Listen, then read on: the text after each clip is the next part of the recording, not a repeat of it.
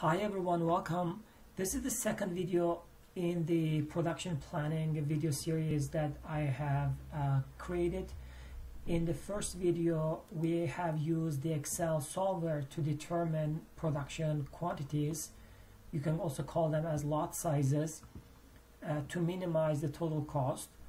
And in the second video, what we are going to do is we are going to use the Silver-Meal heuristic to determine the production quantities. And the Silver-Meal heuristic is not going to guarantee the best solution for us, but it is going to provide a solution, a fast solution to large size of problems. And uh, we will first understand, uh, try to understand how this heuristic works manually, not using any Excel uh, functions. And then we are going to just uh, go over a VBA. Maybe that's going to be the third video of the series. Okay, so how does the heuristic uh, work? If you look at the Wikipedia page, uh, this is a, you know, some people do not like Wikipedia, but I, I think uh, they have done a pretty good job explaining uh, how this heuristic works in here and it is uh, going to try to determine the production amounts by just looking at the the total average cost if we include one more period. And if when you add one more period to a lot size and if the cost increases then we do not add that period and we stop the production lot size for up to that period only. So let's take a look at here in the example.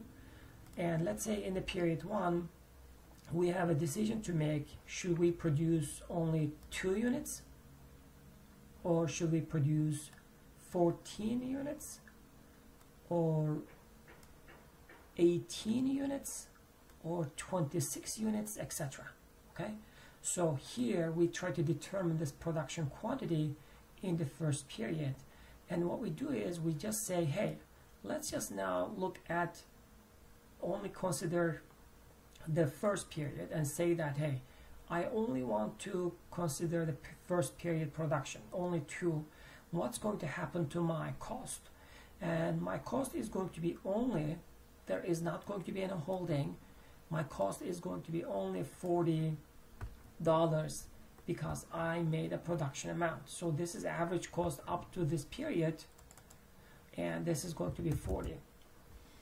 And now if I say what is going to be the average cost if I did produce 14 units so instead of just two 14 units how much the average cost is uh, going to be. And what's going to happen now is we're going to say we will have to pay the $40 okay? So that's the $40 and then we also need to pay uh, plus the 12 units that we produce in the first period that we have to keep until the second period and then we have to pay one dollar per unit for those okay? And this is going to be our total cost and then we divide that by two periods that we have.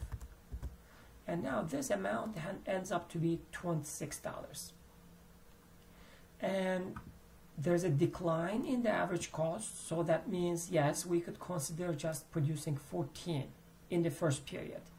Let's say if we want to consider one more period and the third period what's going to happen is yes there's going to be a 40 then plus then it is going to be 12 times only one period right? We will let's say if we produce 18 units we will have to keep this 12 units for one period until the second period. But we will have to keep this four units two periods.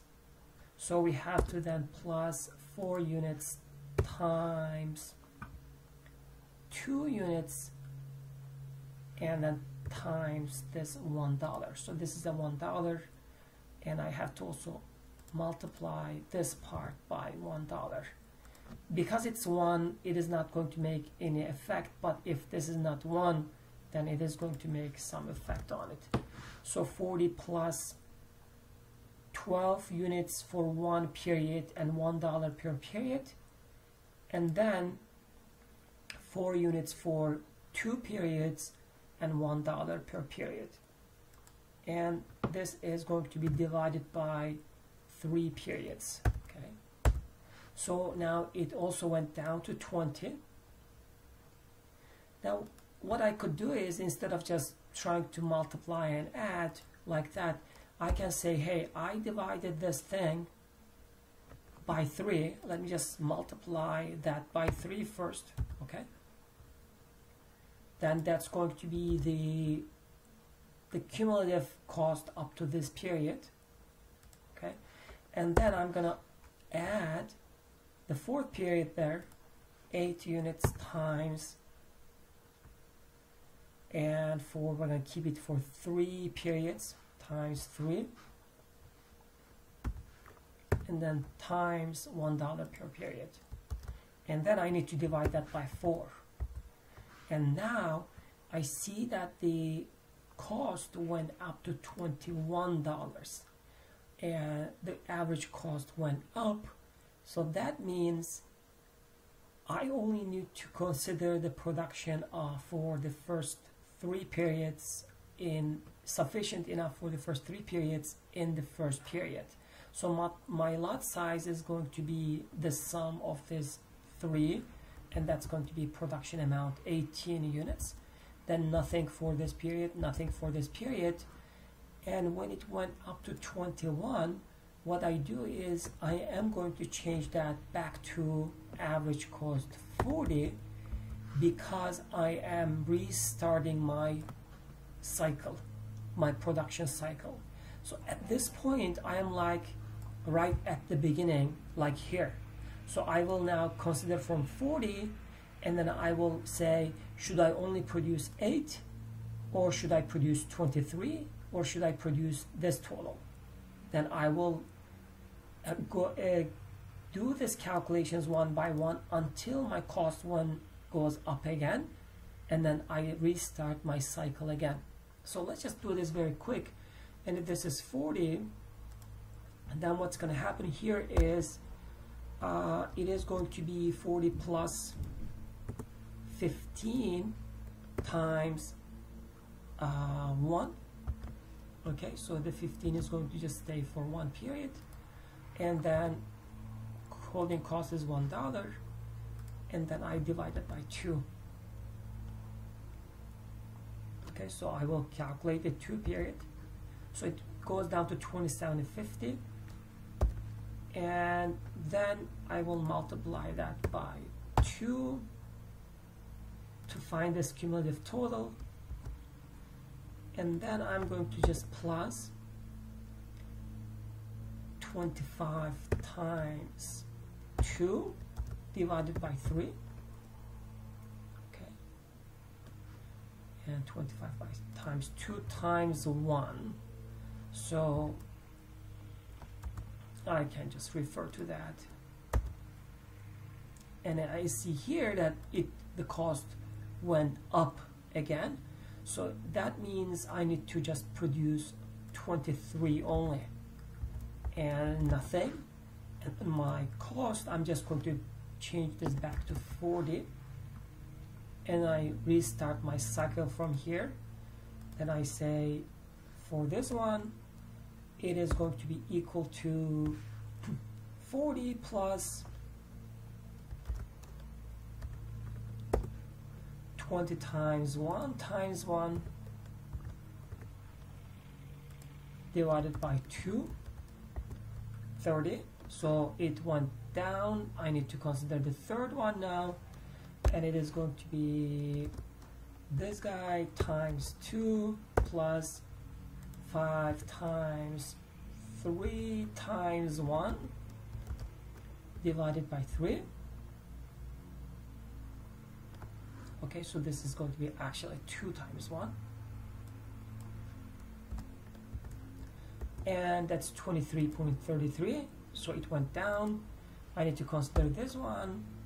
This times 3 plus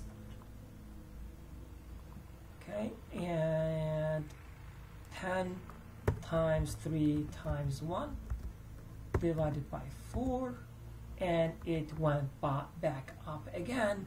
So that means I need to produce 50 then nothing and nothing. Then I need to change it back to 40 and after that it is going to just take it from here 40 plus 20 times 1 times 1 divided by 2 goes down to 30 and then 30 times 2 plus 5 times 2 times 1 divided by 3 23.33 so it went down again. And then I'm going to just look at here and that's going to be equal to this guy times 2 oh, this is the 2 and then plus